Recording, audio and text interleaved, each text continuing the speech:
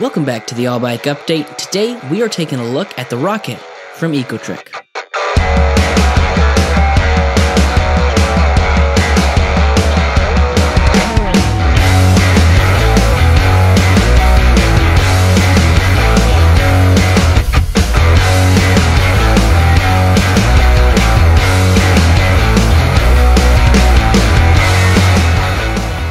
We get too deep into it, some of you are probably just here for an overview, so let's hit some of those big specs. The Rocket comes with a 500 watt motor, a 36 volt 12.5 amp hour battery, huge 26 by 4 inch tires, a top speed of 20 miles per hour, and an estimated 15 to 23 miles per charge. Oh yeah, and it's priced at about $1,000.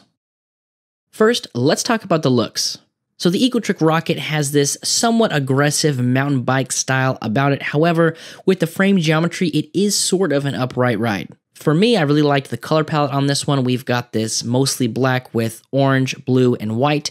Nothing really stuck out to me as far as being off brand as far as the colors that they selected here. Even though it does have that mountain bike style to it based on the components that we have here, this is something that's probably going to handle light trails fairly well. I took them on a few and it handled them well but also something where you're not going to want to take this down any sort of crazy mountain bike trails or off of jumps or anything like that. Next, let's talk about who this bike might be for. The Rocket is a bit of a larger bike, so me being that 5'10, 5'11, it was a pretty good fit. However, I probably wouldn't go any shorter than 5'8, maybe 5'7, but probably about that 5'8 range as far as height goes. I believe on the website it's listed as being able to handle people a little bit shorter than that. However, with the geometry we have here on these big wheels, I feel like that would be kind of a difficult bike to handle for somebody who's a little bit smaller than that 5'8. Let's go over some of those geometry measurements. We've got a 19 inch reach, a 31 inch standover height. Again, just kind of highlighting my point of this is a bike for maybe somebody that's a little bit taller than average or tall. Minimal saddle height of 26 inches and a maximum saddle height of 32 inches. And those handlebars we measured in at 28 inches wide. So the bike again is a little bit bigger. We've got a 46 inch wheelbase here and a 76 inch length overall. And if you're unsure about some of those measurements, there's plenty of good videos on YouTube where you can figure out how to find those measurements on yourself and how to match those up with the right bike for you. Next, let's talk about the motor. As I mentioned in the beginning, this is a 500 watt motor. Now, this is an Ecotric branded motor, similar to the other bikes that we have been reviewing in the recent past. And similar to those, I don't really have too many complaints. They seem to operate exactly how you'd expect a rear hub motor to operate. We didn't have excessive road noise. We didn't have any issues with it not accelerating or accelerating too fast. I felt like they were all tuned fairly decently coming straight out of the box. Next, let's talk about the battery. The battery on the Rocket is 36 volts, 12.5 amp hours. That's giving us about 450 watt hours here. Now that's a little bit smaller when we compare it with some of the 48 volt batteries that we have reviewed in the past. But if getting that extra 10 to 12 miles of range is not that important to you based on how you're going to use this bike, what you're going to use it for, then the price trade off might be worth it here for you. But that's up to you and your budget and how you plan on using this bike. And the battery, like I mentioned, is not too bad. It's kind of right in the middle there as far as a recharge time, six to seven hours for a full charge if you run it till it's gone. We do have removable keys, which is a big plus from me. I always comment on it. So it's nice that we can lock the battery on there, take the keys off, and then we don't have to worry about the keys hitting us or us kicking the keys, especially where this battery is mounted. That would be a real issue if the keys weren't removable, but they are. So it's awesome. And once your battery is fully charged, you should be able to get anywhere between 15 to 23 miles.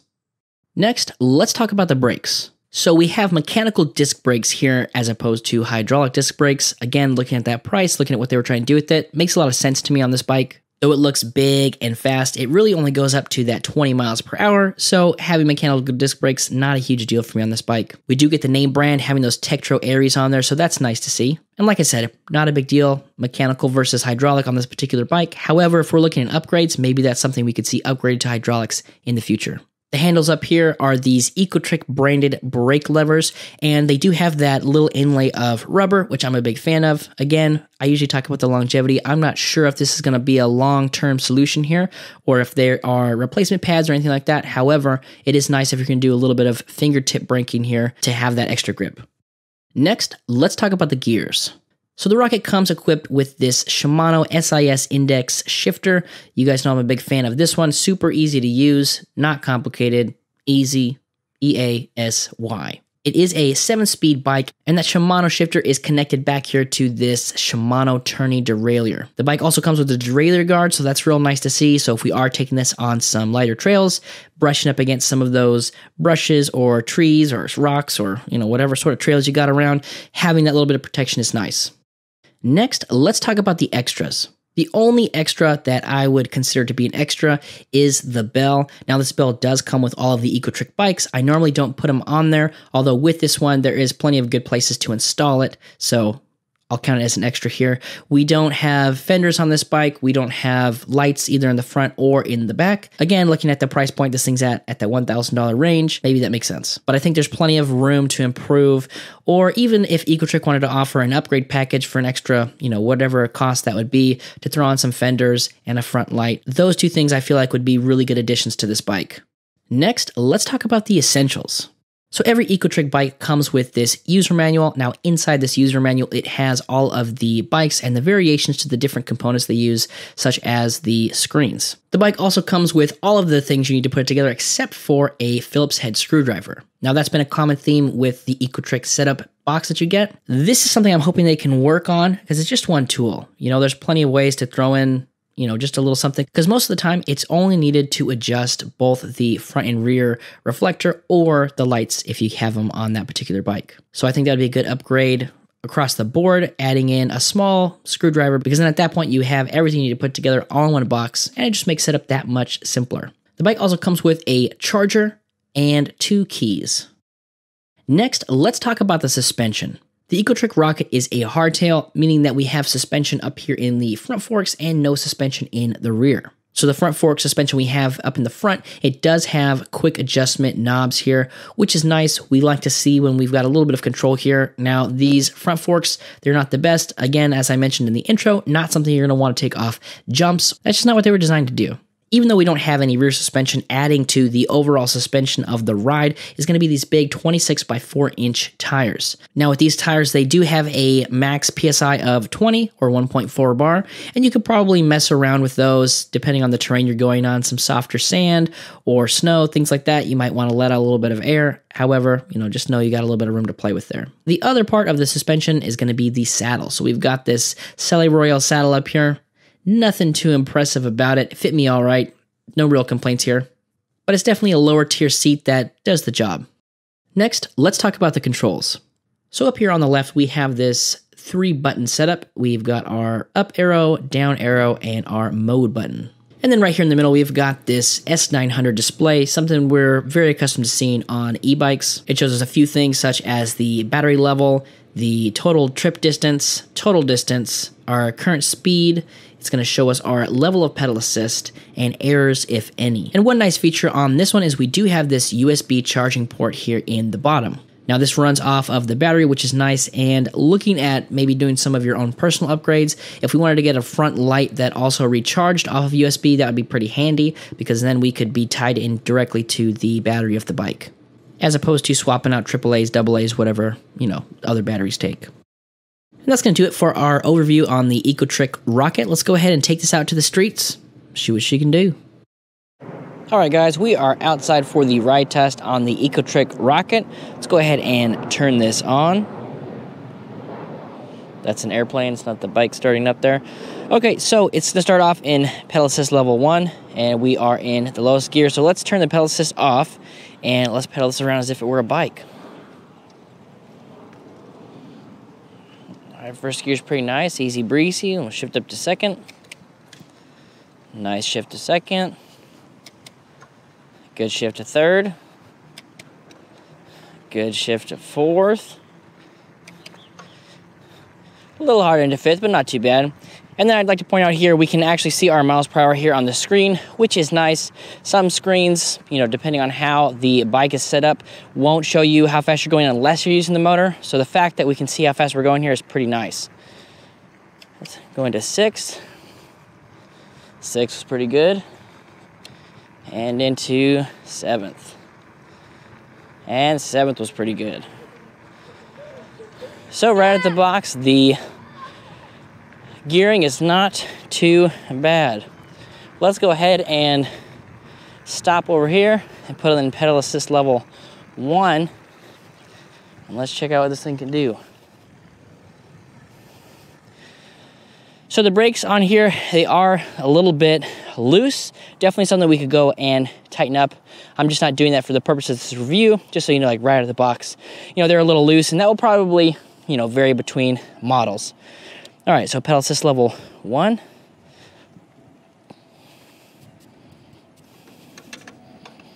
Just going down to second there. All right, nice and easy.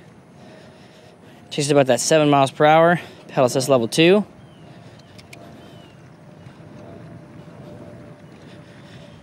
All right, that 10 miles per hour. Pedal assist level three. 11, 12. And pedal assist level four. So from three to four is a pretty big jump. I could feel it really getting a little extra room to it when we were uh, going from third to fourth there. Gonna adjust this camera real quick. And then let's do pedal assist level five.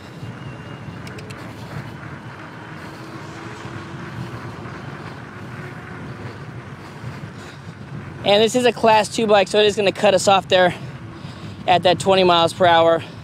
I feel the motor wanting to give me a little bit more though, so maybe a little unfortunate that the uh, controller's limiting us here. I feel like the, the engine wants to run a little bit. But keeping up with this 20 miles per hour is very easy. Heading into uh, quite a headwind actually. Can't really uh, hear myself, so I'm sorry if I'm yelling a little bit more than normal. You know, and these shocks combined with these, you know, big four inch tires, they really do make this a pretty smooth ride. And again, those brakes, you know, they, they're not awful. I mean, I can definitely stop. I don't feel like it's unsafe just something that, you know, if I was gonna keep this bike long term, then something I would definitely tighten up for sure. So let's go ahead and we will put it in pedal assist zero. Now when pedal assist zero, the throttle does not work, but if we wanna get that full gambit of the throttle, we can put it in pedal assist level one, and that is not gonna do it. That's gonna take us to our five, six miles per hour. Now some throttles, as long as the pedal assist is on, you will get the full gambit, But with this one, we can control how fast that's gonna go. So now it's gonna go up to that 9, 10, 11, 12, the third to fourth. With the throttle a little less noticeable, I think, the, the switch from third to fourth. And then finally, pedal assist level five, throttle only, 20 miles per hour. Now the bike doesn't come off as too sporty. The ride is very smooth and you know, we could probably add some, like a seat post suspension, something like that. That may just kind of add to the overall, you know, comfort of the ride. But honestly, you know, this saddle is not too bad. The way that the front fork suspension came set up was honestly pretty nice for just cruising around on these sort of trails yeah, don't really have too many complaints. It would be nice down here on the bottom, you can see this readout. Um, it will show us if we have any errors or anything. So with this one, it's not gonna show us our wattage, which would be cool. But we do get, you know, to know if there's any errors, which that makes troubleshooting really nice for the brand and Ecotric, you know, in, the, in this instance. So if we got an error, you know, 002, they can look it up, they know exactly what that means. So nice to have that, pretty easy access for troubleshooting, but it'd be cool if, you know, we could maybe switch to see how much wattage we're, we're pulling here.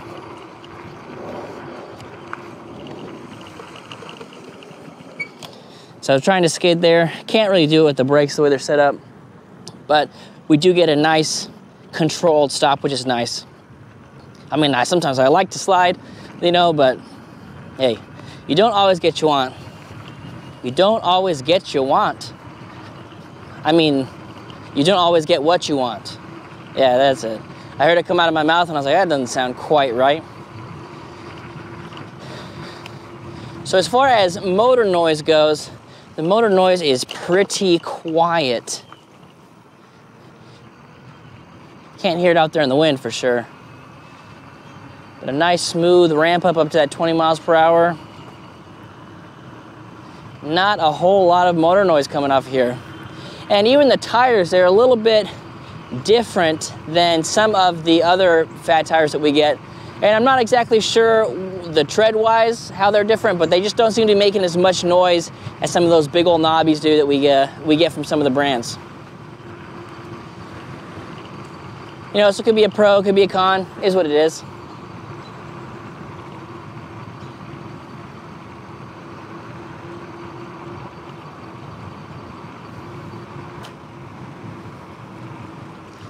The other thing that I like about this bike is there isn't really a delay between pedal assist and throttle.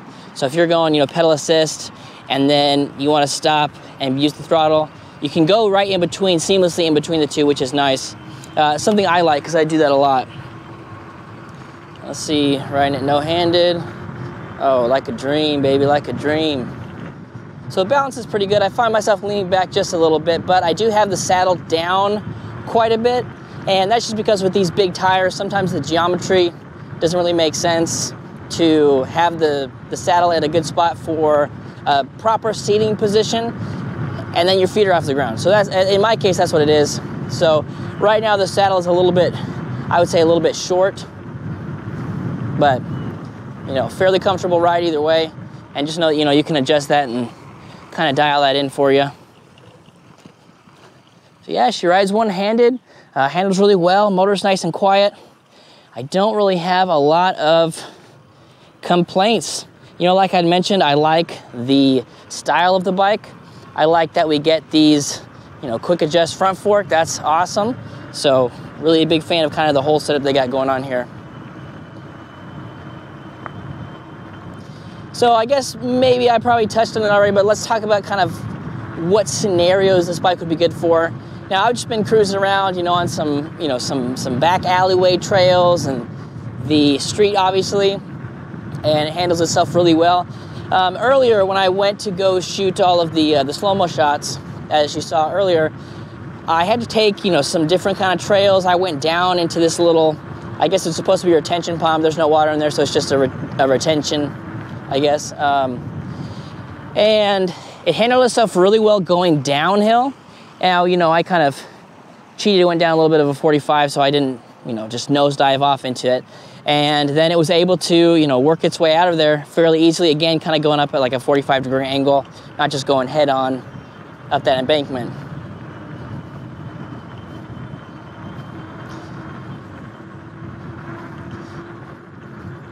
So yeah, all in all, fairly, uh, fairly decent bike for the price. Now, when we look at some of these components, you know, we've got mechanical disc brakes. Um, we would like to see those. You know, maybe some hydraulic Tektros would be nice. Even some, you know, hydraulic zooms, that would be cool. Don't really have too many complaints about the setup. I kind of like the, you know, the simple three button setup over here. Nice big LCD on this side. Um, personally, I like color displays and that's kind of a debate, you know, between color displays and LCDs. But for me, I like, you know, I like the just the the grayscale version of them. No, I like the color version of them. I don't even know what I like. I prefer the color ones. This one is not color, uh, but the, you know that's a debate. Some people like the the grayscale. I prefer the color ones. You gotta know what you believe in. You know, you gotta know what you're fighting for. So I'm back here, no-handed on the trail, pedal assist level five. Probably not super advised, but you know, handling itself really well. Those nice big four-inch tires really help with the, you know the balancing.